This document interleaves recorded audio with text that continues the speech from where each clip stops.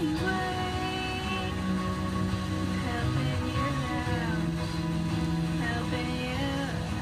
96.5 KOIT, the most listened to radio station at work. The crew over at Kaiser in Oakland are always listening to Coit. This is Joey V. The $1,000 workday cash code is back. You want to be listening on Monday at 7, 11, 2, and 5. And you can actually text the word cash code to 69299, and we'll send reminders to your phone starting up on Monday. Of course, message and data rates apply. It's a national contest. You can find all the details at KOIT.com.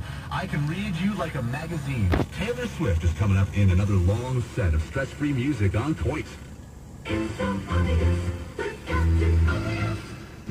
Turbulent Ted tweets, I found a great hotel overseas, but I'm afraid of flying. Any advice?